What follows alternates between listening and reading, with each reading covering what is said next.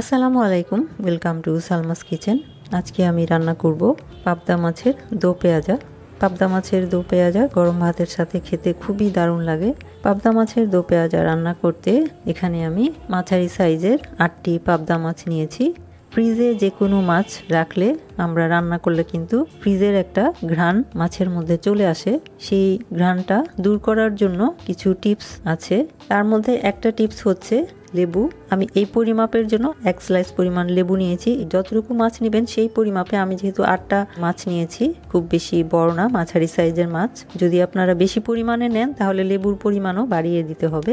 এই লেবুর রসটাকে আমি চিপে এই পানির মধ্যে দিয়ে খোসাটা সহ আমি মাছগুলোকে লেবুর পানির মধ্যে ডুবিয়ে রেখেছি আধা ঘণ্টা। এইভাবে লেবুর খোসা সহ লেবুর পানির মধ্যে আধা ঘণ্টা মাছটা ভিজিয়ে রেখে, তারপর ভালো করে ধুয়ে নিলে রান্নার পর কেউ বুঝতেই পারবে না যে এটা ফ্রিজের মাছ নাকি ফ্রেশ মাছ?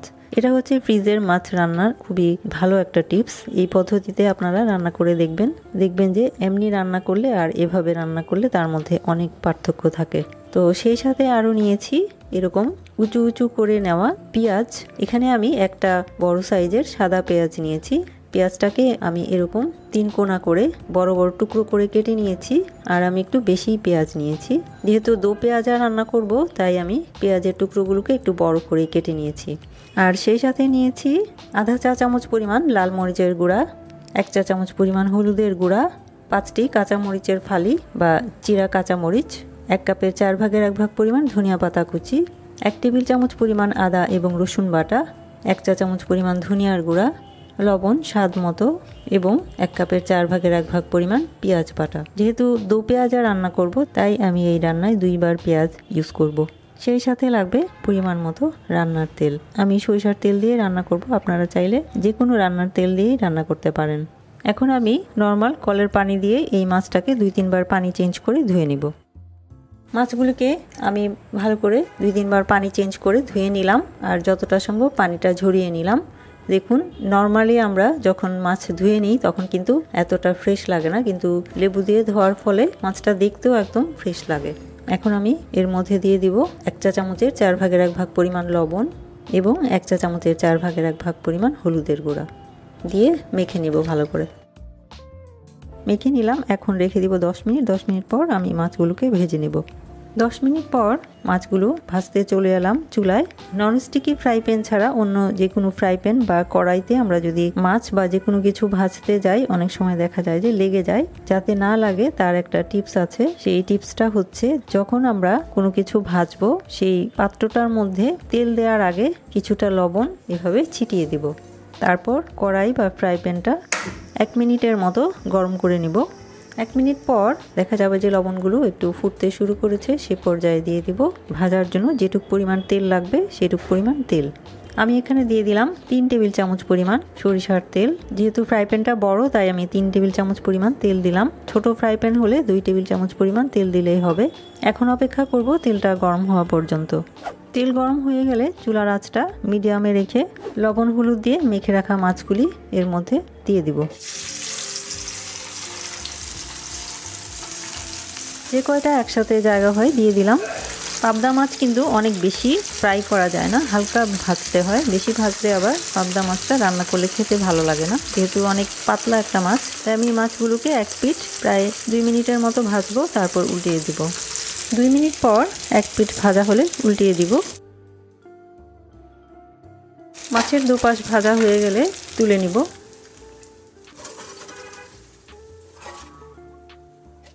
এখন রয়ে যাওয়া দুটি মাছও দিয়ে দিব এবং একইভাবে এই দুটি মাছও হালকা ভেজে নিব।